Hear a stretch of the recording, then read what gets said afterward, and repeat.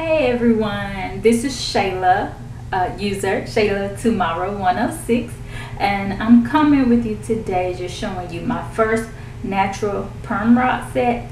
Um, this is the first time I've ever used perm rods on my hair since I've been natural.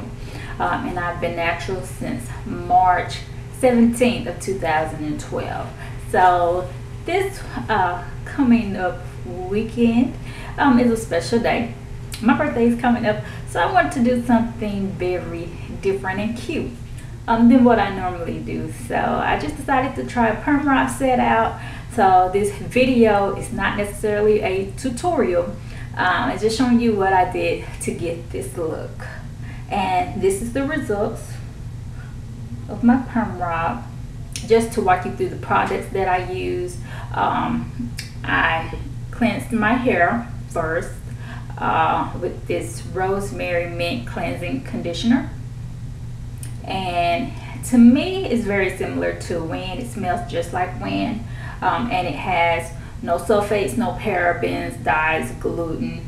And and when I saw even saw the bottom I knew that was WEN and uh, sometimes I use WEN so that's just a cheaper alternative. I think it was like seven dollars. Uh, so I washed my hair with the rosemary mint cleansing conditioner um, after that, I used this leave-in conditioner from Got2b and it's luster lotion. This is the first time I used this. I just brought it, so just use that. And I combed it through my hair and I basically just plaited my hair as I detangled. I detangled with this detangler. I normally use a smaller one, but I couldn't find it. So I used this to detangle my hair. And after I detangled, I just twisted my hair in sections. And it came out to be about eight or nine plaits and a little twists and all. Uh, what I used for my rod set was this purple one.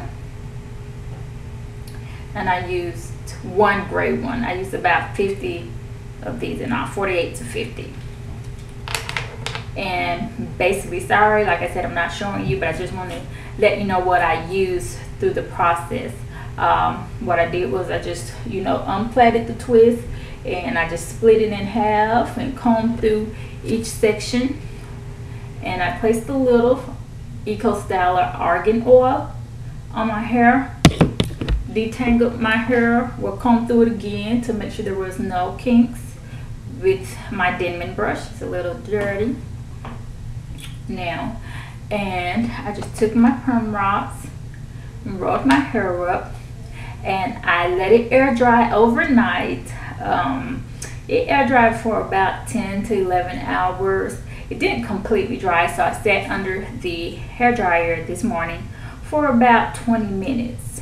Um, still a little damp but majority of the curls came out great. So if you want to just look and see the process of how I got to this style continue to watch and I also may show um, second day hair and third day hair on my birthday. So stay tuned and I hope you enjoy